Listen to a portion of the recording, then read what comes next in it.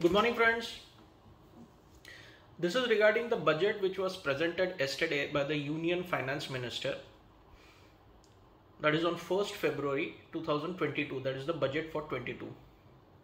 Now, there will be various slides and presentation after my speech which will enumerate in short the brief the changes made in the direct indirect taxes and other spheres of the industry by the Union Finance Minister in the budget of 2022.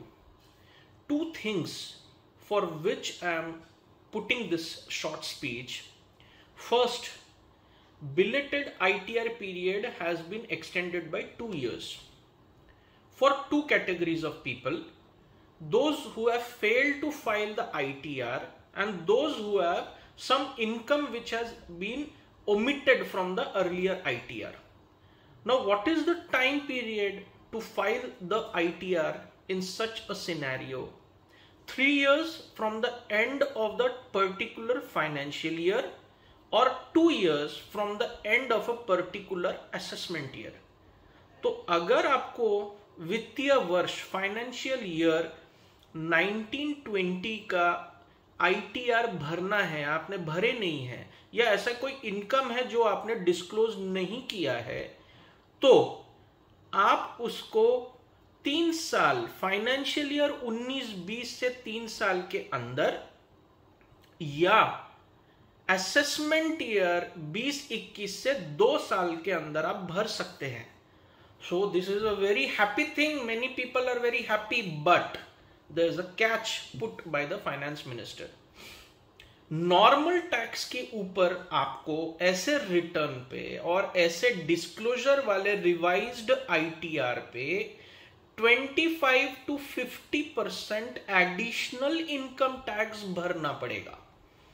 Means if you are in the 30 percent bracket and you have not filed the ITR for whatever reason and now you want to file it apart from your normal tax amount, a sum equal to 25 to 50 percent will be the additional tax that you have to pay.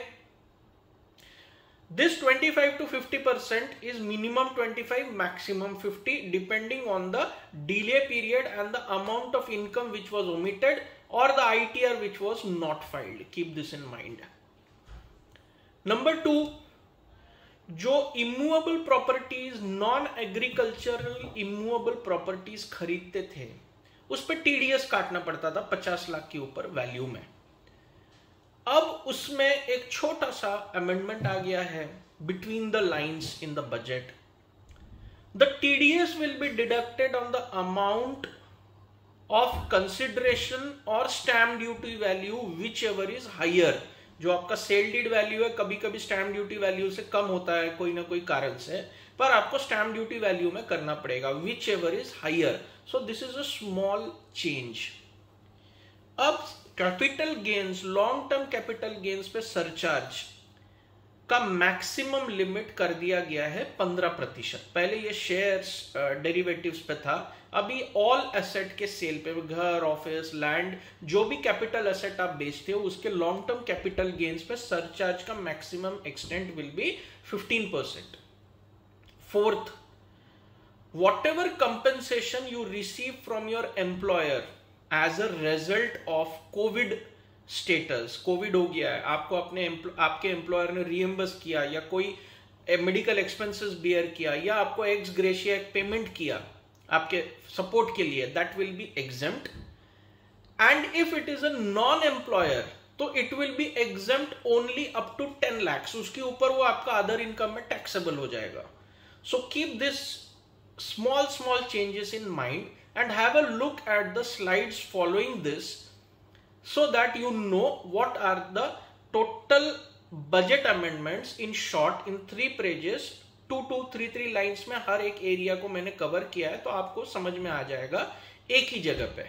Now a personal thing I am not much into in that show base कि मैं यहाँ से arrow आ रहा है, उधर से arrow आ रहा है, मैं डिज़ाइन कर रहा हूँ, मैं ब्लू कर रहा हूँ। I like it the orthodox way one two one That is why I speak like this. I'm putting my presentation like this. So that's a personal touch.